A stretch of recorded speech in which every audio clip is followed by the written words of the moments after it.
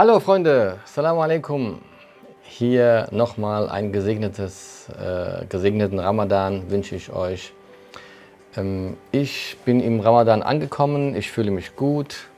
Ähm, es ist ein, jetzt äh, äh, paar Tage hinter uns und ich hoffe, euch geht es auch gut. Schreibt doch einfach, ähm, wie ihr euch heute fühlt. Ähm, das ist ähm, interessant, damit äh, andere auch lesen, wie ihr mit Ramadan gerade zurechtkommt. Das äh, würde mich auch brennend interessieren, wie ihr als ähm, Zuschauer auch das seht. Ja, heute geht es weiter mit einem Thema, ähm, das ähm, mich auch jedes Jahr beschäftigt. Ähm, da frage ich mal äh, wieder die Mispa, welches Thema ist es denn? Ja, wir wollten uns. Was mich äh, beschäftigt, ne? Was dich beschäftigt. Hast, du, hast, du, hast, du die ich Frage Gedanken lesen. Hast, du- hast du die Frage gesehen? Erzähl du mir, welches Thema Wie mich Souffleurin beschäftigt. hier. ähm, ja, ich frage mal die Frage, die ich fragen will. Ja, bitte, klar. Ähm, wer muss denn überhaupt alles fasten und wer nicht? Ja, alle, die in der Lage sind zu fasten, äh, müssen fasten und diejenigen, die nicht in der Lage sind, müssen nicht fasten. Also, Kinder müssen nicht fasten, ganz klar. Äh, Altersschwache müssen nicht fasten. Äh, Kranke müssen nicht fasten. Äh, Schwangere müssen nicht fasten. Ähm, unter ganz schweren Bedingungen äh, Arbeitende müssen nicht fasten. Vor Eins allem fehlt noch. Äh, Komm. Schwa Schwangere habe ich doch Hast schon du gesagt. Schwangere habe ich schon gesagt. Ja. Und dann Hunger, weiter. Hungernde meinst du? Betrifft auch noch Frauen? Hey, Hungernde meinst du? Hunger, nein. Frauen. Also natürlich äh, Frauen, die ihre Tage haben, müssen auch nicht fasten, ganz klar. Ähm, und ähm, was ähm, Und ich glaube, Reisende, ne? Reisende müssen nicht fasten. Vielen Dank. Also wir haben hier eine ganze, ganze Reihe von äh, Menschen, die nicht fasten müssen. Bei medizinischen Dingen, klar, äh, die ärztliche Rat ist einzuholen. Auf jeden Fall sollte man äh, einen Arzt zu Rate ziehen äh, und der sich auch, ein Arzt, der sich ein bisschen mit Ramadan auch auskennt und äh, Oder auch eine Ärztin. oder ne, Danke. Hab ich erwischt. Eine, Entschuldigung. Eine Ärztin oder ein Arzt. Ähm, also er, sie, es. Äh, Sollte, also klar, dringender Rat äh, bei medizinischen Fragen immer äh, Ärztinnen und äh, Ärztinnen, Ärztinnen zu Rate ziehen und äh, abstimmen. Viele Menschen, äh, die eben chronische Erkrankungen haben, können gar nicht fasten, dürfen gar nicht fasten. Ähm, oder bei besonderen Dingen, wo der Mensch psychisch nicht in der Lage wäre zu fasten oder eben ähm, von vornherein klar ist, man wird äh, etwas sehr, sehr herausforderndes, sehr, sehr schweres äh, äh, vor sich haben, kann, kann, kann darauf verzichtet werden. Aber das sind eher Sonder, Sonder. Also es äh, heißt ja sogar, dass sie nicht fasten dürfen. Also es ist ja nicht so, dass es... Äh, ne? Kranke, Kranke, Sondern- klar. Also es ist ja praktisch ein Verbot. genau, Äh, Kranke. Äh, Man darf ja nicht die eigene Gesundheit aufs Spiel Genau. setzen. Äh, also diejenigen, die ihr, ähm, ihre Gesundheit aufs Spiel setzen, sollen auch nicht fasten. Äh, weil der, das, das Gebot, die Gesundheit zu erhalten, wiegt höher als die Pflicht zu fasten. Das ist ganz klar. Muss man also ganz klar unterstreichen, dass äh, die Gesundheit geht, äh, vor, geht vor, das Fasten geht nur, wenn die Gesundheit es zulässt. Das heißt aber auch so klimatis klimatisch bedingte Zustände, wie wenn es ein he- heiß Sommer wäre, ne? das Fasten. Gab ja auch so Fälle, wo dann ähm, Menschen auch gestorben sind, Ja. weil, weil es einfach zu heiß war. Ganz genau, ganz genau. Also bei kritischen äh, Hitzewellen äh, könnte das, Eine Ausnahme sein. genau, aber, da- aber da würden sich die Muslime eh sich darüber einig werden. Ähm, Das muss man auch diskutieren. und, und es ist auch personenbedingt. Das heißt, Menschen, die in ganz heißeren Klimazonen sowieso täglich leben, äh, was für die äh, normal ist, wäre für uns eine starke Hitzewelle. Wir wären quasi gesundheitlich beeinträchtigt.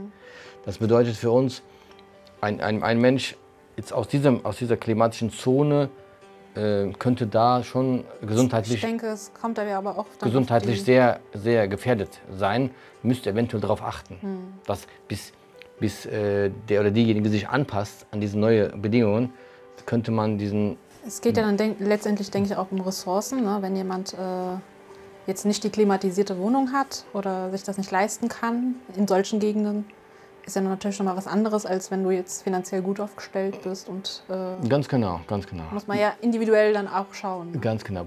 Nichtsdestotrotz, äh, ich kenne das natürlich aus der weltweiten ähm, äh, Verbindung, die wir haben, dass, es, ähm, dass, die, dass die Muslime in heißeren Ländern ähm, schon relativ äh, stabil durchfasten und die Kranken, äh, also man passt, die, man muss eher die Kranken dann eher überzeugen, weil viele sagen, ah, ich bin doch nicht so krank, deshalb äh, sollte man auf jeden Fall einen medizinische, ähm, medizinischen Rat holen. Und die oft- Medikation eventuell anpassen. Das ist ganz menschlich. Also stell dir vor, äh, meine Mama, die Gesegnete, die ist ja schon verstorben, möge Allah ihr Seele gnädig sein. Ähm, sie war schon 80 und äh, sie hatte chronische Erkrankungen. Das war nicht einfach. Jemand, die, die seit 60 Jahren fastet, ähm, sagen, dann sagt sie, mein Kind, ich habe 60 Jahre gefastet. Ich werde jetzt nicht wegen dieser einen Tablette, die ich jetzt fünf Stunden später auch einnehmen kann, mein Fasten unterbrechen. Das mache ich nicht. Und du kannst ja niemanden zwingen das dazu. fehlt dann was, was ne? Ja, bitte? Fehlt dann einem was auch, ne? Ja, und da, da fehlt einem was. Da, da ist diese ist, äh, ähm, seelische, spirituelle Bedeutung viel höher als jetzt diese Verschiebung und dieser gesundheitliche ähm, Moment. Wenn, wenn die dann ähm, manche riskieren eben ihre Gesundheit, das deshalb. Und da muss man oft dann so, so, so die Leute, die, die Familie, die Kinder betteln eher die Erwachsenen drum, die in so einer Lage sind, sagen, äh, Mama, Papa, bitte, äh, du weißt doch, äh, Weckt mich auch auf, ne? ja, ja, ja, ja, genau. Du weißt doch, äh, du darfst nicht fasten. Äh, die, die diskutieren tagelang manchmal drum. Diskutieren tagelang drum, dass sie doch nicht fasten sollen. Also gerade umgekehrt. Ne?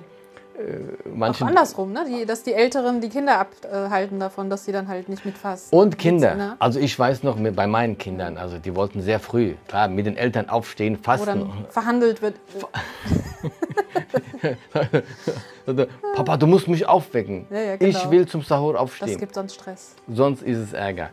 Ähm, und wenn du das einmal nicht machst, und dann äh, ist, ähm, du verlierst natürlich ähm, Vertrauen bei Kindern.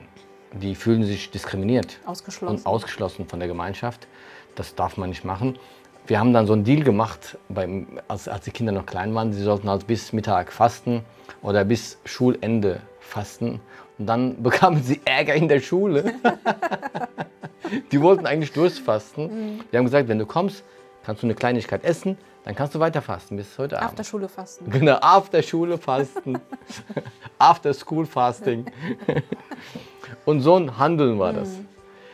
Ja, ähm, Wie ist denn das eigentlich, wenn äh, du jetzt angefangen hast zu fasten? Äh, kann man es auch unterbrechen? genau, sehr, sehr wichtige Frage. Äh, es gibt ähm, Umstände, da muss man mit dem Fasten aufhören. Wie zum Beispiel, du hast stark erbrochen, du ähm, merkst, dir geht es nicht mehr gut, deine Gesundheit ist beeinträchtigt oder du weißt, du hast einen medizinischen äh, Eingriff, OP, irgendwas äh, oder du ähm, Kippst um. Du kippst um. Spätestens dann sollte man aufhören. Ganz genau. Du kippst um. Ähm, also es gibt klar diese Umstände. Da, also das ist auch ein, da gilt natürlich auch die Regel, egal wer dir, na, wie, wie, da heißt es so schön in, in einem Prophetenspruch, egal welcher Mufti dir Fetwa gibt, frage dein Herz. Also wir sind selber, jeder Muslim ist verantwortlich äh, für das eigene Verhalten.